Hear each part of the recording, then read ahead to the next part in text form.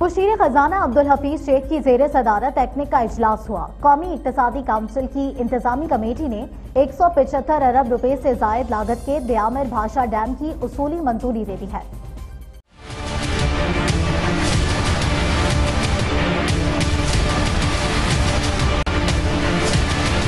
मुशीर खजाना डॉक्टर अब्दुल हफीज शेख की जेर सदारत एक्निक का इजलास हुआ। इस इजलास के दौरान 250 अरब रुपए से जायद मालियत के चार मेगा प्रोजेक्ट्स की मंजूरी दे दी गई। मुशीर खजाना की जेर सदारत होने वाले इजलास के दौरान कौमी इकतदी काउंसिल की इंतजामी कमेटी एक्निक ने एक सौ पचहत्तर अरब से जायद के दयामिर भाषा डैम की असूली मंजूरी दे दी। इजलास के दौरान बारह चार तीन अरब के लोधरा मुल्तान बासठ किलोमीटर तवील दो रोया सड़क मंसूबे की मंजूरी दी गई। Lodhra Multan N five section में दो फ्लाईओवर्स दो इंटरचेंज और चार छोटे पुल शामिल हैं।